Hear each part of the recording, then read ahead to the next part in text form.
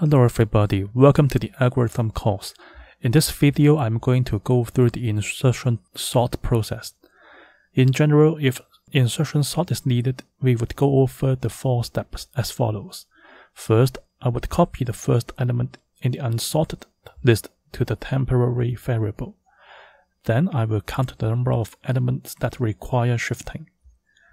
And then I will see that if the temporary variable is smaller than the element in the sorted list, I will simply copy the elements rightwards to leave the space for the temporary variable to be put. Finally, I will assign the temporary variable to the reserved space. Let us see an example to understand the process of the insertion sort. Suppose I have these five numbers.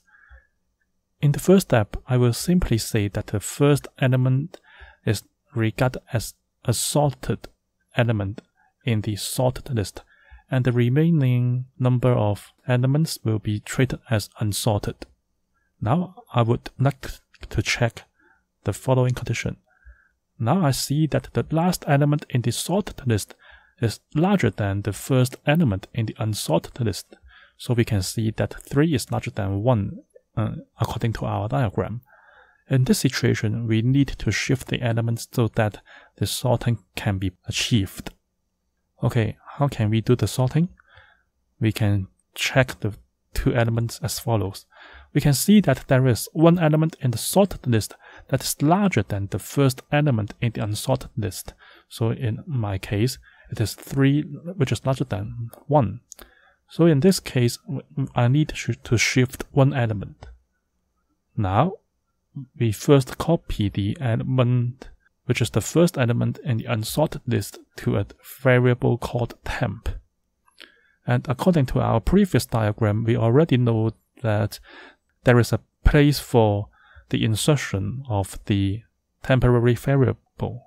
So let us see how we go to the shifting process. Now I would copy the elements rightwards. Since I have only one element to do the shifting, I will simply do the shifting once. The shifting is achieved by the copying of the elements rightwards. So the value of 3 would overwrite the original value of 1. And then after the shifting, I would simply assign the temporary variable to the reserved space. So the very first element of the whole list will become 1 and one is put into the reserved space. And, then I can lengthen the sorted list and I would also sh uh, shorten the unsorted list. Now let us see the second round of shifting if necessary. Now we see that the last element in the sorted list is smaller than the first element in the unsorted list, which means 3 is smaller than 5 according to our diagram.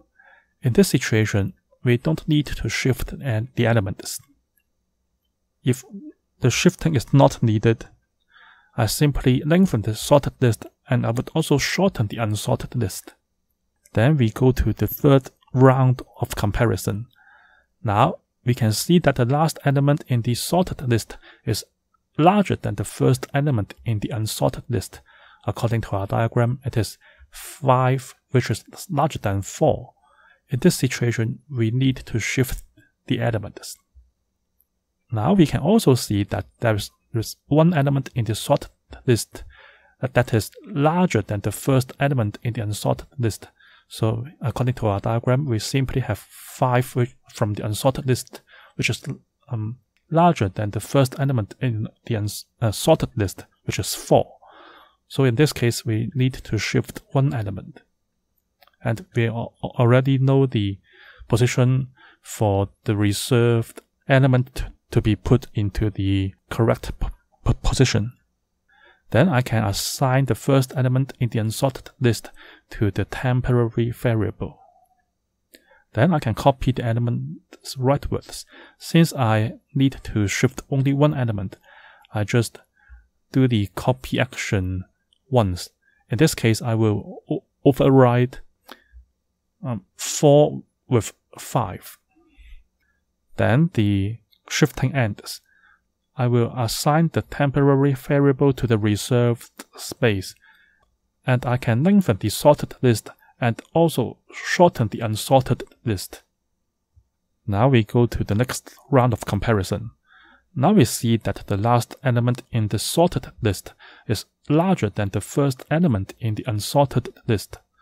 So uh, according to our diagram, 5 is larger than 2. In this case, we need to shift the elements. Now we can see that there are three elements in the sorted list that are larger than the first element in the unsorted list.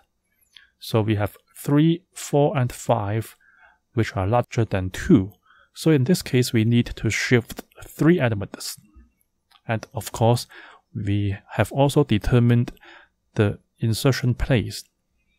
Then I can assign the first element in the unsorted list to the temporary variable and I need to copy the elements rightwards for three times in order to do the shifting process.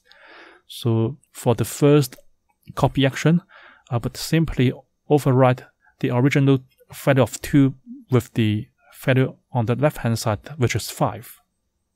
For the second round of copy action, 4 would override the original value of 5. And for the final round of copy action, 3 would override the original value of 4. After the three rounds of copy action, I would assign the temporary variable to the reserved space. Also, I can lengthen the sorted list and shorten the unsorted list. Now we can see that all the elements are sorted because the total number of elements is equal to the number of sorted elements. In this case, sorting is complete. Thank you for walking through the algorithm with me. If you have any questions about the process, feel free to leave your comments below the video. If you like this video, please give me a like and please subscribe to my channel. Thank you for watching.